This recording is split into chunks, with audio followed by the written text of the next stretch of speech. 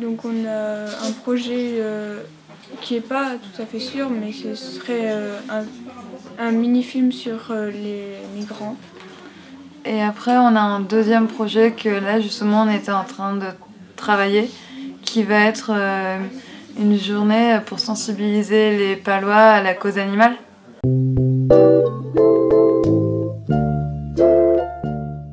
On parle tous ensemble des projets auxquels on souhaite réaliser. Et quand on bloque sur un sujet ou qu'on ne sait plus trop de quoi parler, Fatima nous pose une question et on essaye d'y réfléchir tous ensemble.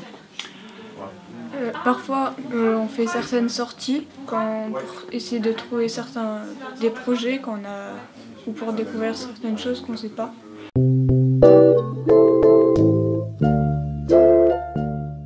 Il est nécessaire effectivement de pouvoir euh, comment dire, les faire cheminer pour pouvoir prendre un peu plus d'ampleur, une orientation plus importante.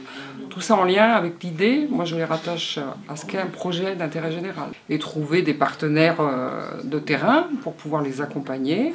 Alors bon, ils m'ont déjà dit qu'ils ne voulaient pas faire une exposition, donc trouver des outils professionnels pour les accompagner, pour faire émerger un projet de qualité qui sera effectivement euh, mis euh, en avant pour sensibiliser ou en tout cas pour présenter leur projet euh, aux élus et au public.